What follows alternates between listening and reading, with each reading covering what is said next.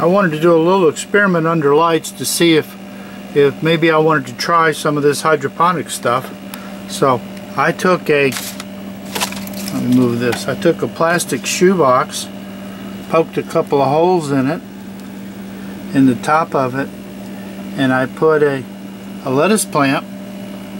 Now the liquid in here I didn't even measure anything because I'm just you know see what happens put a little Miracle-Gro and I had a little something helps it grow roots and I put that in and as a control is this one these are the exact same age they were the same size when we started this a couple of weeks ago and I really cheated. I, I've been giving this guy worm casting juice, all kinds of good stuff to try and get him to grow.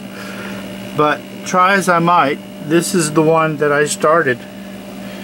And you can see how the roots are doing in there. And I haven't changed the water, added to it, stirred it, nothing. Just mixed it up, put the plant, dangled the plant in there with some roots. And here's what the results are. This plant versus this plant.